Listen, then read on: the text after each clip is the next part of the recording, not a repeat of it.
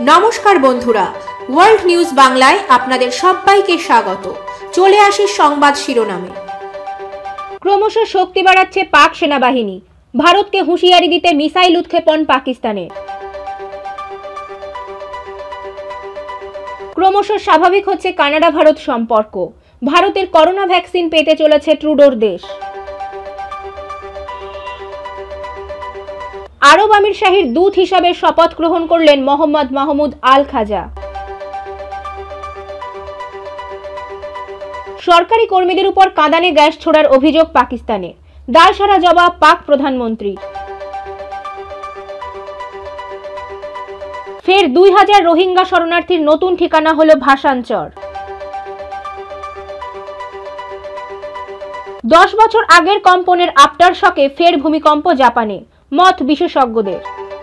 চলে আসি বিস্তারিত খবরে। ক্রমশ শক্তি বাড়াচ্ছে পাক সেনাবাহিনী। ভারতকে হুঁশিয়ারি দিতে মিসাইল উৎক্ষেপণ পাকিস্তানের। গত তিন সপ্তাহে এই নিয়ে তৃতীয়বার মিসাইল উৎক্ষেপণ করল পাকিস্তান। সম্প্রতি Babur cruise missile I A নামক এই মিসাইল সফলভাবে উৎক্ষেপণ করেছে পাকিস্তান সেনাবাহিনী। সোশ্যাল মিডিয়ায় ছড়িয়ে পড়েছে সেই ভিডিও। এর আগে কুড়ি জানুয়ারি শাহিন থ্রি মিসাইলের সফল পরীক্ষা করে পাকিস্তান।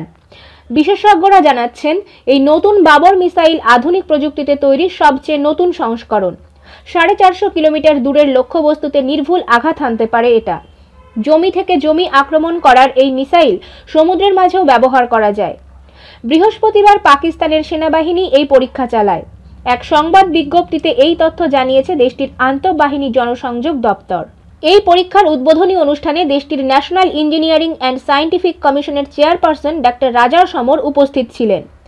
ডনের প্রতিবেদনে বলা হয়েছে, Babur cruise missile I A state of the art multitube missile launch vehicle থেকে পরীক্ষা চালানো হয়। এর আগে চলতি মাসের শুরুতেই গজনভি নামে আরেকটি মিসাইলের পরীক্ষা চালানো হয় দেশটির সেনাবাহিনীর পক্ষ থেকে।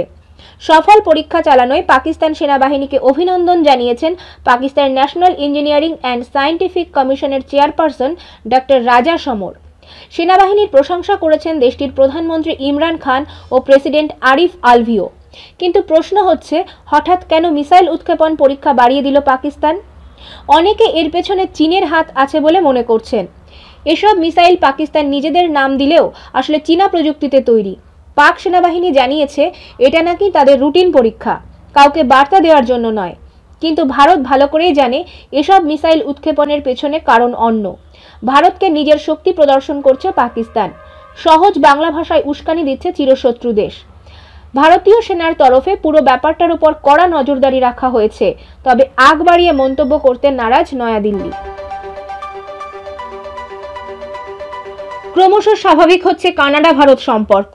ভারতের করোনা ভ্যাকসিন পেতে চলেছে ট্রুডোর দেশ। করোনা অতিমারির বিরুদ্ধে লড়াইয়ে এবার কানাডার পাশে দাঁড়াতে চলেছে ভারত। সরকারি সূত্রে পাওয়া খবর অনুযায়ী, চলতি মাসে কানাডাকে পাঁচ লাখ করোনা টিকা কোভিশিল্ড পাঠাতে চলেছে ভারত সরকার। এর আগে প্রতিবেশী দেশ বাংলাদেশ, নেপাল, ভুটানেও করোনা টিকা পাঠানোর সিদ্ধান্ত নিয়েছিল মোদী সরকার। বন্ধু দেশগুলিতে টিকা সরবরাহের দায়িত্বভার বহন করবে ভারতীয় সেনা। ভারতে তৈরি কোভিশিল্ড এবং কোভ্যাক্সিন দু ধরনের টিকাই পাঠানো হচ্ছে প্রতিবেশী দেশগুলিতে। অক্সফোর্ড অ্যাস্ট্রেজেনেকার ল্যাবে তৈরি ভ্যাকসিন কোভিশিল্ড পাঠানোর প্রস্তুতি চলছে জোর কদমে। পাঁচই ফেব্রুয়ারি কানাডার তরফে দশ লাখ কোভিশিল্ড টিকা চাওয়া হয়। কিন্তু ভারতের তরফে সেভাবে সাড়া না মেলায় দশই ফেব্রুয়ারি মোদীকে ফোন করেন ট্রুডো। তাতে কিছুটা বরফ গড়লেও এখনও পুরো চাহিদা পূরণ করা সম্ভব হচ্ছে না। আন্তর্জাতিক সম্পর্কিত বিশেষজ্ঞদের মতে, কানাডায় ভারতীয় দূতাবাসের আধিকারিকদের এবং সেখানে বসবাসকারী ভারতীয়দের নিরাপত্তা নিয়ে চিন্তিত প্রধানমন্ত্রী নরেন্দ্র মোদী। এই বিষয়ে কানাডার প্রধানমন্ত্রী জাস্টিন ট্রুডো নিরাপত্তার আশ্বাস দিলেও ভারতীয় সরকার পুরোপুরি নিশ্চিত হতে পারছে না। কৃষি আইনের বিরুদ্ধে প্রতিবাদে টরেন্টো ও ভ্যাঙ্কুভারে অবস্থিত খালিস্তানি জঙ্গি সংগঠনগুলি ভারতীয়দের উপর আক্রমণ শানতে পারে বলেই মত কেন্দ্রীয় স্বরাষ্ট্র মন্ত্রকের আরব আমির শাহীর দূত হিসাবে শপথ গ্রহণ করলেন মোহাম্মদ মাহমুদ আল খাজা। প্রাক্তন মার্কিন প্রেসিডেন্ট ডোনাল্ড ট্রাম্পের সহযোগিতায় ইসরায়েল ও আরব আমির শাহীর মধ্যে চুক্তি স্বাক্ষরিত হওয়ার পর ইসরায়েলে নিজেদের প্রথম রাষ্ট্রদূত নিয়োগ করল আরব আমির শাহী। রবিবার মোহাম্মদ মাহমুদ আল খাজাকে এই পদে শপথ গ্রহণ করানো হলো।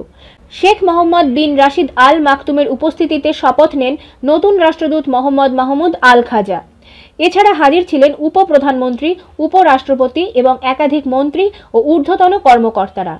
শেখ মোহাম্মদ মাহমুদ আল খাজাকে অভিনন্দন জানান ইসরায়েলের সঙ্গে বন্ধুত্ব ও সহযোগিতাপূর্ণ সম্পর্ককে জোরদার করতে আহ্বান জানান।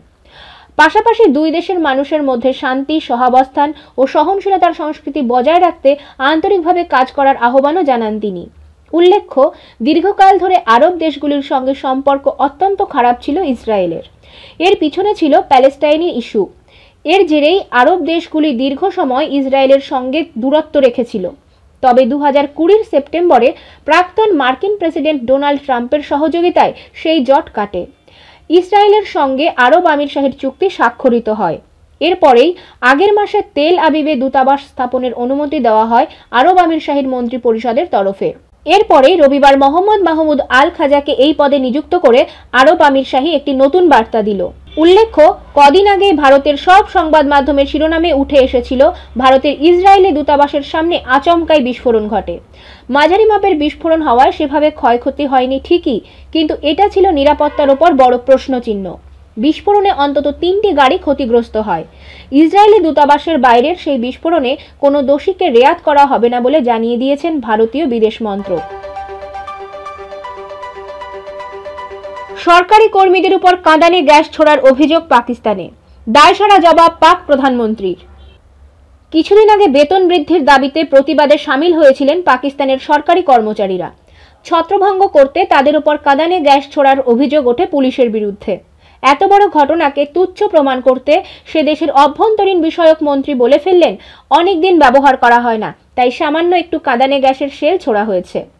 ইসলামাবাদে এক অনুষ্ঠানে মন্ত্রী শেখ রশিদ আহমেদ বলেন, কাঁদানে গ্যাস সামান্যই ব্যবহার করেছে পুলিশ। অনেকদিন ব্যবহার করা হয় না, কাজ করে কিনা তা দেখে নেওয়ার দরকার ছিল। বেশি না, সামান্যই পরীক্ষা করা হয়েছে। তিনি এও বলেন, বড় সমস্যা এটা নয়। এই মুদ্রাস্ফীতির সময় সরকারি কর্মীরা মাইনে বাড়াতে চাইছেন সেটাই সমস্যার। এই দুর্দিনে রাজকোষের কোটি কোটি টাকা ক্ষতি হয়ে যাবে তাতে। দশই ফেব্রুয়ারি বেতন এবং পেনশন বাড়ানোর দাবিতে প্রতিবাদ করেন সরকারি কর্মীরা। তাদের ওপর কাদানে গ্যাস ছোড়ার ঘটনাকে এত লঘু করা নিয়ে অভ্যন্তরীণ মন্ত্রীর ওপর বেজায় চটেছে বলে অভিযোগ। সোশ্যাল মিডিয়াতেও চলছে মন্ত্রীর প্রতি বিষোদ্গার পিএমএলএন নেতা মোহাম্মদ জুবের বলেছেন, অন্য যে কোনো দেশে এ ধরনের বিবৃতি দিলে অবিলম্বে ক্ষমা চেয়ে ইস্তফা দিতে হতো মন্ত্রীকে। এখানে এসব কিছুই তো হবে না, উল্টে বক্তব্যকে সমর্থন করে যাবেন মন্ত্রীমশাই। নির্লজ্জ বললেও কম বলা হয়।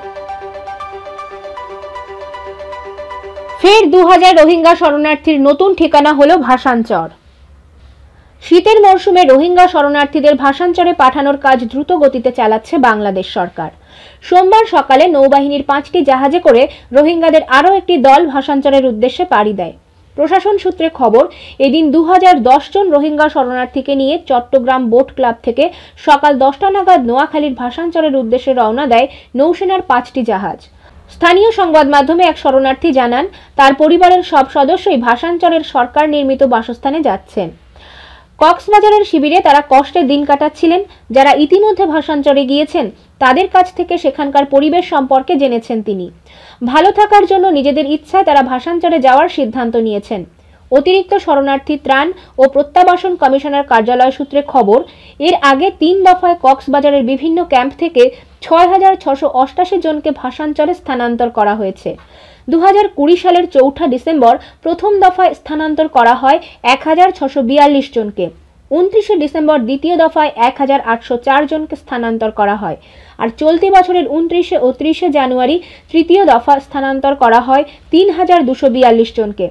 সব মিলিয়ে এক লক্ষ রোহিঙ্গা শরণার্থীকে ভাষান্তরে নিয়ে যাওয়ার পরিকল্পনা রয়েছে হাসিনা সরকারের। উল্লেখ্য দু হাজার সতেরো সালের আগেই কক্সবাজারে আশ্রয় নিয়েছিল প্রায় চার লক্ষ উদ্বাস্তু রোহিঙ্গা।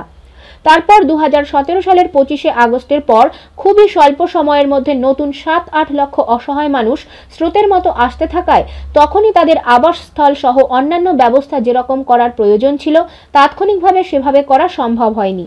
এ কারণেই ক্যাম্পের ভিতরে এখন বিপুল পরিমাণে অবৈধ অস্ত্র ঢুকছে। অবাধে মাদক ও নারী পাচারের মতো চরম সব অপরাধ সংঘটিত হচ্ছে। সুতরাং শুধু বাংলাদেশের স্বার্থে নয়, রোহিঙ্গা এবং আন্তর্জাতিক সংস্থায় কর্মরত লোকজনের কল্যাণ ও নিরাপত্তার স্বার্থে ভাষান্তরে তারা গেলে সেটির বিরুদ্ধে কোনো প্রোপাগান্ডা ও বাধার সৃষ্টি করা উচিত নয় বলেই মনে করছে হাসিনা প্রশাসন। দশ বছর আগের কম্পনের আফটার শকে ফের ভূমিকম্প জাপানে, মত বিশেষজ্ঞদের। ভূমিকম্পে কেঁপে উঠল জাপানের উত্তর পূর্ব অংশের বিস্তীর্ণ এলাকা। প্রাণহানি না ঘটলেও ভূকম্পনে আহত হয়েছেন শতাধিক মানুষ। ভূমিকম্পের ঘটনাটি ঘটেছে জাপানে রবিবার রাতে। এর জেরে ক্ষতিগ্রস্ত হয়েছে বহু বাড়ি। ব্যাহত হয়েছে বিদ্যুৎ পরিষেবা, রেল পরিষেবা ও জল পরিষেবা। বেশি ক্ষতি হয়েছে তোহকু অঞ্চলের মিয়াগি ও ফুকুশিমা এলাকায়। তবে কোনো নিউক্লিয়ার প্ল্যান্ট ক্ষতিগ্রস্ত হয়নি বলেই জানা গিয়েছে। জাপান ন্যাশনাল মেট্রোলজিক্যাল এজেন্সি এই কথা জানিয়েছে। তারা জানিয়েছে, এখনই সেখানে সুনামির কোনো আশঙ্কা নেই। দু হাজার এগারো সালে সেখানে যে ভয়াবহ ভূমিকম্পটি হয়েছিল, এই ভূমিকম্পটি তারই আফটার শক বলেও জানিয়েছে তারা। এই ধরনের আফটার শক আরও হতে পারে। প্রসঙ্গত রিক্টার স্কেলে সেই ভূমিকম্পের তীব্রতা ছিল নয় দশমিক শূন্য আর এবারের কম্পনের তীব্রতা সাত দশমিক তিন। জাপানের উত্তর পূর্বের বহু বাড়িতে ফাটল ধরেছে, ভেঙে পড়েছে জানালা। ফুকুশিমায় বহু জায়গায় ধস নেমেছে। টোকিও শহরের বাড়িগুলিও কেঁপে উঠেছিল। বিদ্যুৎ ও জল পরিষেবা ব্যাহত হয়েছে বহু জায়গায়।